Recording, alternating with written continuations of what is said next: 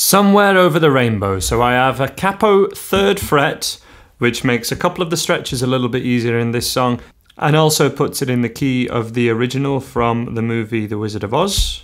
And this is my own custom fingerstyle arrangement based on that version. The easier chords and melody version is just up here and I think it's a good idea to work through that first because everything is the same uh, in this version but what we're adding is essentially this little fingerstyle pattern which I name inside out and that is how it's commonly known. And that would be on the on the G chord which begins this song. Um, to begin with we're going to move this pattern one string up which we would not commonly do but in this situation we need the melody there. Uh, the tab as always is available on the website and it also includes the tab for the easier version as well just the chords and the melody. But this first bar goes like this.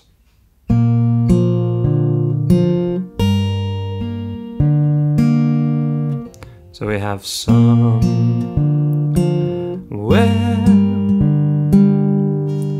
and um, the melody somewhere is the octave of that G note, open G string to the highest, starting off with a fingerstyle G to a normal E minor with the little finger on the thinnest string here, at third fret. And we would start with the middle finger and thumb together.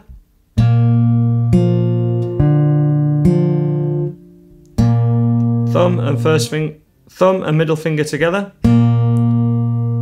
First finger on string four, thumb on string five to first finger.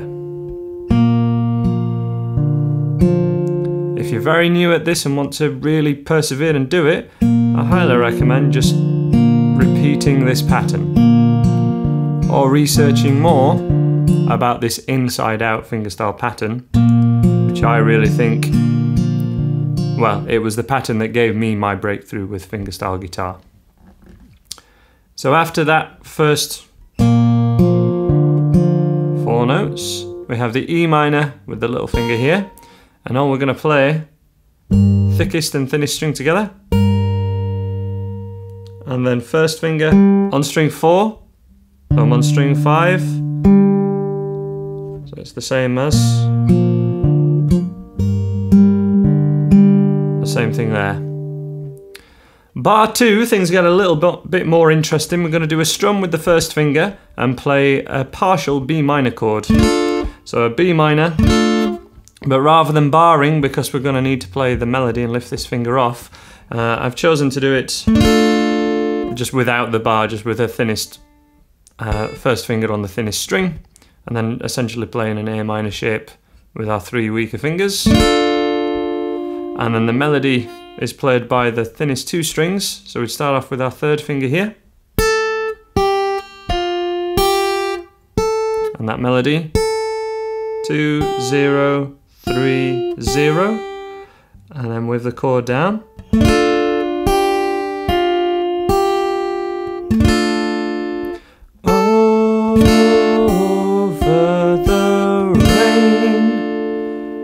To finish, we're going to play a G7 chord.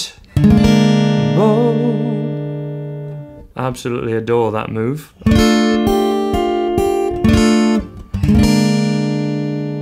I just, I just think it's beautiful. So that B minor, technically a B minor with an F sharp in the bass.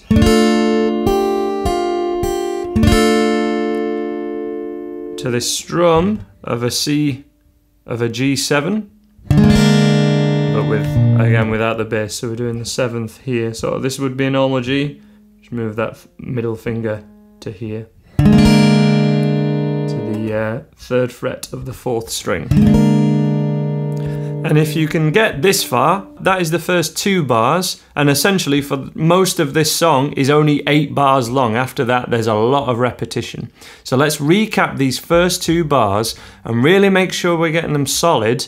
And then from there, you know, you're a quarter of the way through this entire thing, really, because, you know, there's a section B to it, but the most recognizable bit is this section A, which is only two lines long on the tab that we're working from here. So to recap from the top, two, three, four.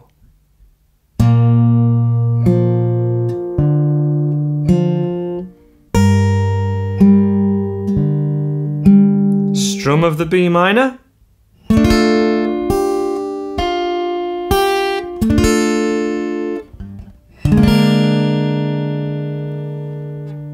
A small strum of a C chord, then on bar 3.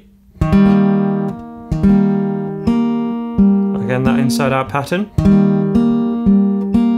Or just the thumb first finger pattern.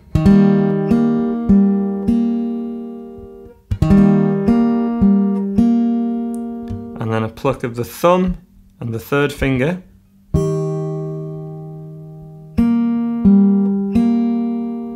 Bar 3 in total. Staying on the C chord. Strum, first, thumb, first, plucking the root and the thinnest string.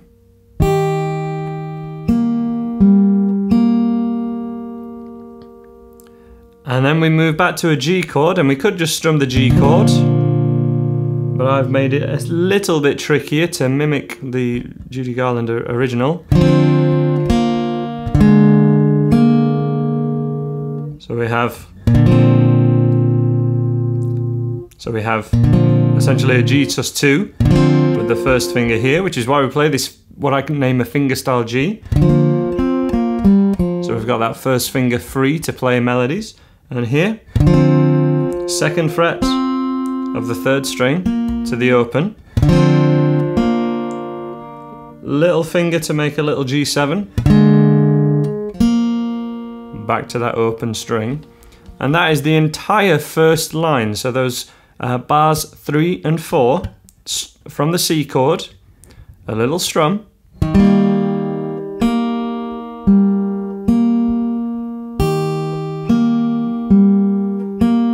bar 4,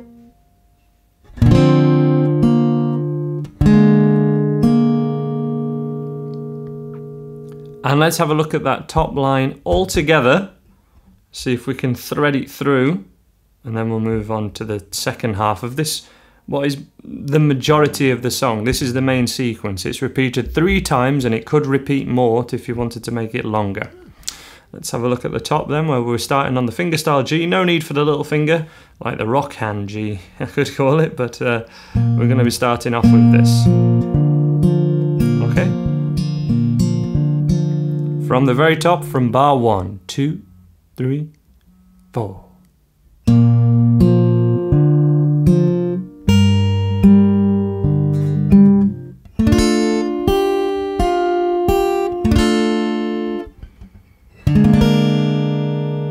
the C chord at bar 3.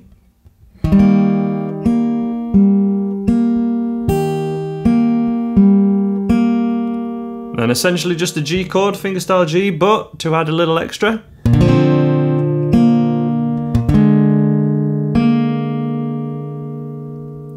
And that is the first line of this arrangement.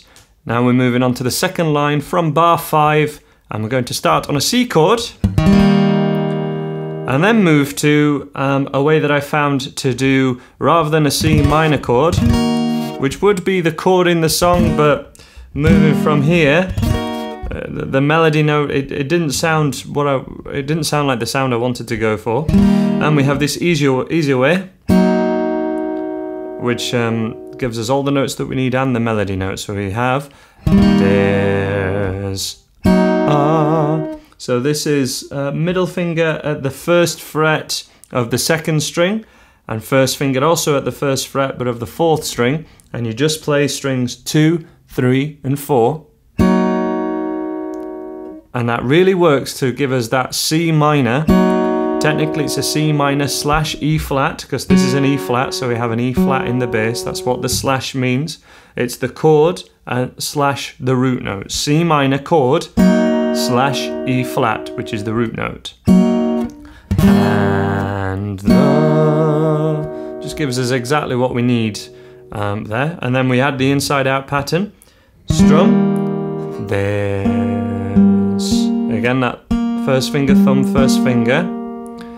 Um, we'll move the thumb up there. So thumb and middle finger. First, thumb, first. There's. Uh, one more time.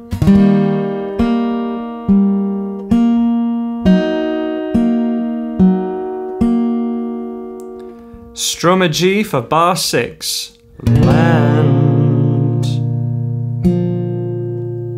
that I E minor. And then the melody finishes on that C note, first fret. Land that I heard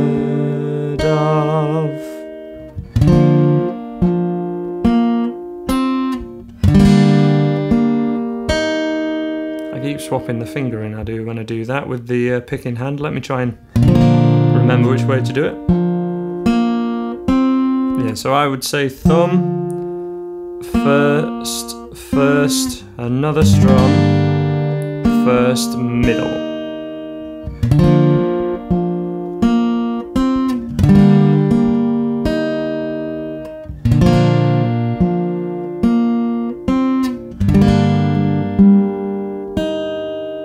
Bar six. And to recap bars five and six together, again, we'll, we'll go through one bar, then the next bar, and then put them together. And then essentially, once you've got those kind of ticking, move on is the best idea and get get through the piece rather than always going for the from the start of the song when you're practicing it's a really bad idea don't go from the start of the song every time otherwise you'll do that first bar really well and get so much practice for that and then when you get to bar four and five and six, you know, you never play those as often because you're always beginning from the start again. So don't make that mistake.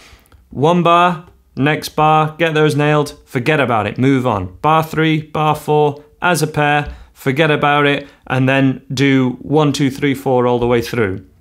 Now we're on bar five and six. We've got bar five, we get bar six, we get them together, and then we've got to move on from them, okay? You've, you've got to try and get through if this is the right level for you you've got to try and get through it. So um, bars five and six as a recap, as I say, you go through it, work through this tab and this video with that method, you will nail this. It may take a little while, but you will absolutely nail it rather than making all your, uh, making the first two bars and getting a lot of practice with them and a lot of success and then struggling further through the piece. Bar five. C minor chord that I've sort of created. Bar 6, thumb, E minor. Okay, so we're moving on and we'll get 7 and 8 together. Bar 7. Here I've got a little slide from uh, 2 that with the middle finger to 4. Which together, if I pause there, there's a bit of tension there and it doesn't sound nice. But in context, I really like the sound of that. A minor, so bar 7, A minor, sliding and playing string 4 and 3 together, so the open string. Just the open third string on its own, the G, then a little D power chord, the open string and uh, the third string together, strings four and three. Then the middle finger, play the open third string. Let me adjust that capo to get it ringing out better. There we go.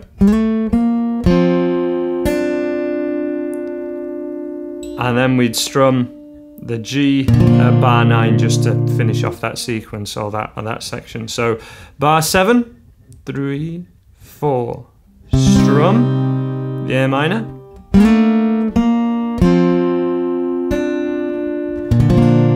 And then we're filling out, you could fill out the rest of that bar as with my Beauty and the Beast tutorial.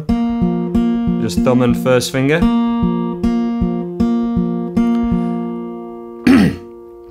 But um, let's continue and, and make sure, let's go back a second and make sure we've got bars 5 to the start of bar 8 solid using the same manner that we've, uh, we've looked at already. So this would be There's a land that I heard of once in a lullaby.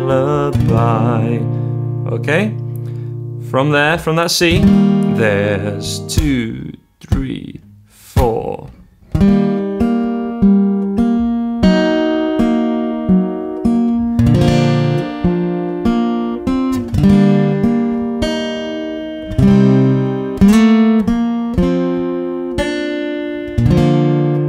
To fill out the rest of bar 8, could just be that if you want to make it a bit easier. But I did steal a move from Eva Cassidy, from her version of Somewhere Over the Radio, which goes like this. It's also kind of nicked from Blackbird. So that second. Beautiful move, used in so many fingerstyle songs. That would finish off Once in a Lullaby. And then that repeat mark says that we go back to the stop and uh, uh, back to the top and do the whole thing again from the top, but we would finish rather than finishing on bar 8, we would finish on bar 9, which is shown by that little number 2 above the bar, which is where the repeat mark would go for. So we we would um, play bars 1 to 8 and then plays one, play 1 and then play bars 1 to 7 and then go from 9. So we miss bar 8 on the repetition. So we would go on the repetition. Somewhere over the rainbow, skies are blue. And then the second line. And the that you dare to dream really do come true is bar 9. So we didn't play bar 8 then, I played 1 to 7 and then went straight to 9. Which finishes? And then that would be someday I wish upon. That's from bar 9, 10, 11 and so on. But that bars 1 to 8 is everything in this piece. So let me just play all of that one more time and I'm going to go really slowly so that you can see every little join. It's always the joins. It's always the end of the bar to the next one on the chord change, especially with fingerstyle, that are the challenging parts. So let's go from the top and this time we're going to get bars 1 to 7 and then go straight to bar 9 and make sure that's really solid. And if it is, then the rest of this piece, there's a couple of challenging bits, but you've already got the first half of it. You've already got the recognizable part. It's so important. So we'll go from the top really slowly, but remember the joins are always going to be trickier. It's understandable and persevere with it and you will get it. So from the start, but we're going from the second repetition. E minor strum.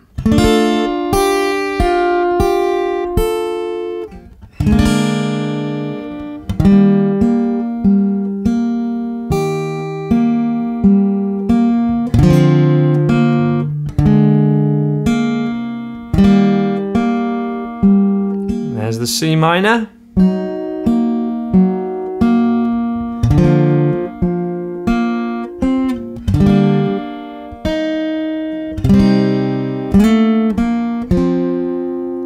Bar 9.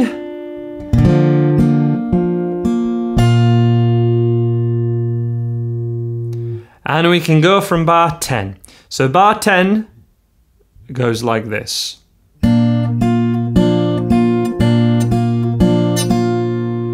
Okay, and we have the melody on the little finger going down at the third fret of the second string, finger style G, and to make it easier, you could just play that melody with the middle finger on its own and just play the thumb on the root note every beat. So it's one and two and three and four and That would be the easiest way to do it. If you can do that, it's not too much harder to just add the first finger in as well. Thumb, thumb, okay? But in accordance with the next step up with, with fingerstyle playing after the inside out, we're going to alternate the thumb to string 4.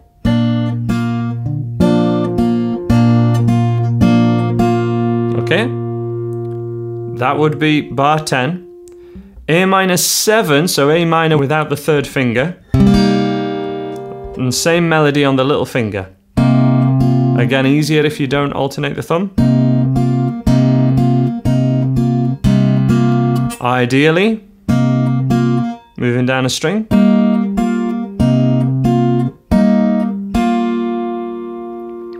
And bar 10 and 11 together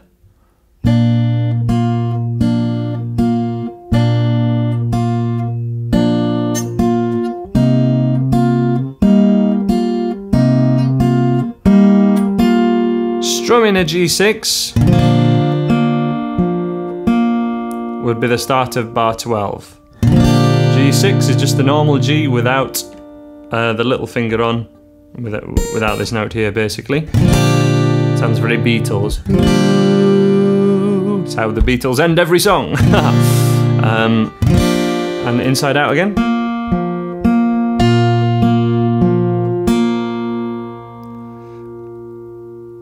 and that would take us to the start of bar 13 where it would be an A minor to a D sus4 to D normal.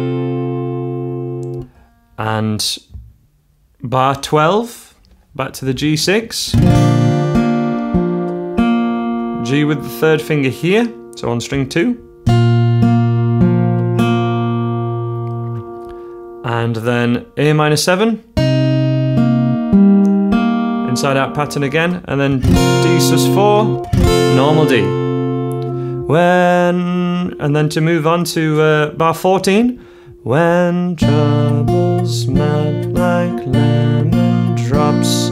Oh, now we have an A major, but we're not actually playing this middle string, this third string. So we could just do it like this, which is easier and more in accordance with the other chord shapes we've been using, and go like this.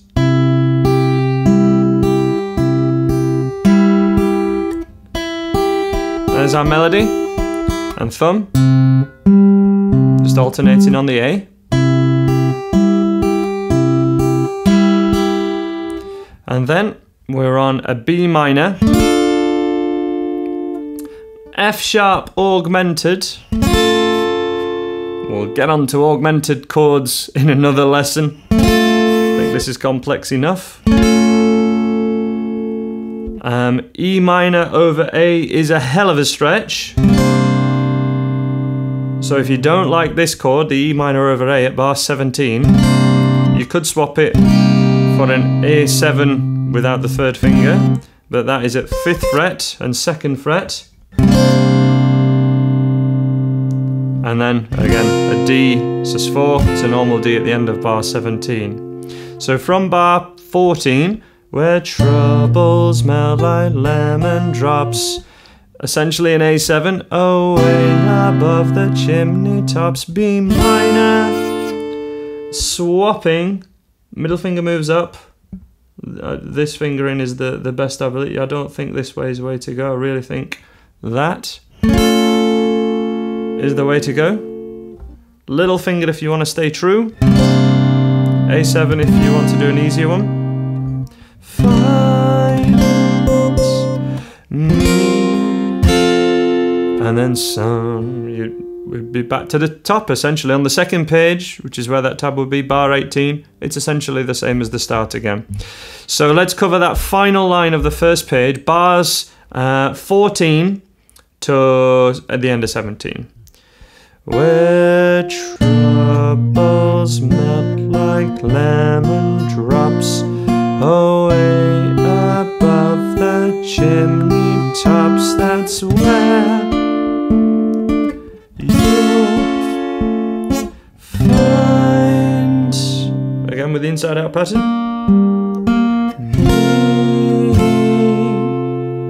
One more time without me singing, in case you couldn't hear anything.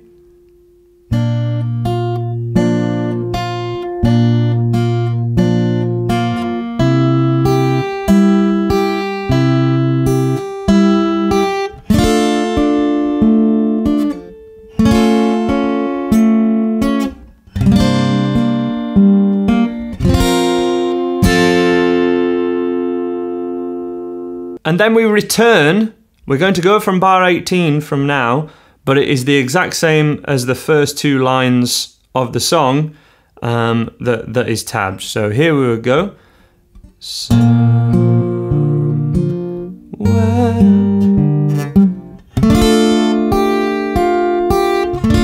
G7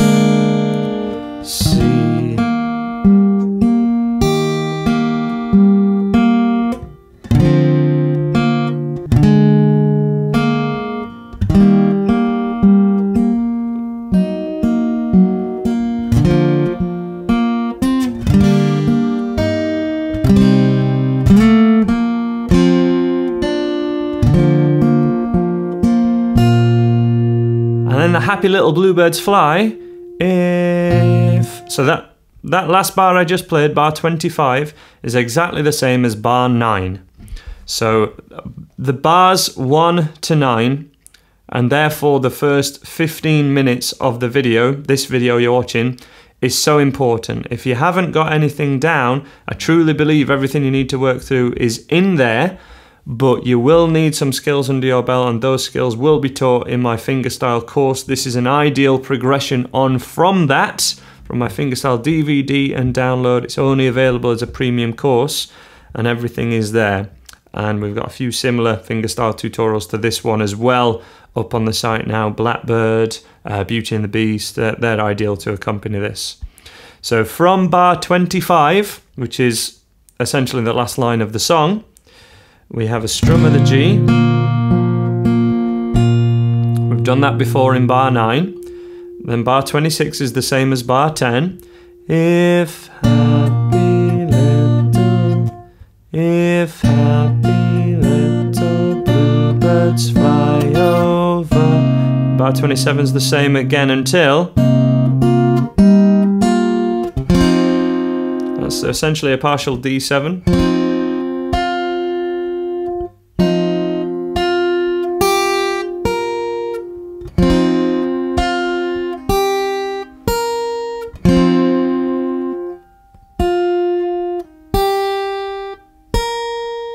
We strum a G. And in my performance of this, my performance video,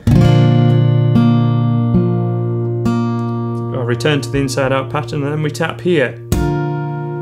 At the 15th fret and hovering over, making sure you tap on the fret itself, just here. This is 15th fret, this has a dot on it. And that should give us I really love the ending to this song.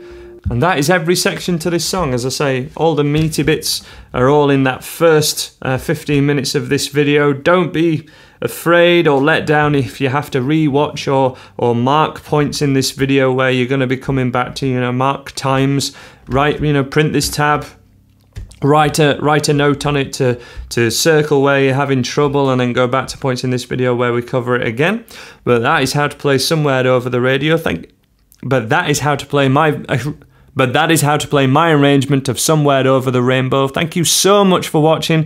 Please subscribe if you haven't already. Check out my fingerstyle course available at andyguitar.co.uk and you can learn more about that by clicking the links on the screen now.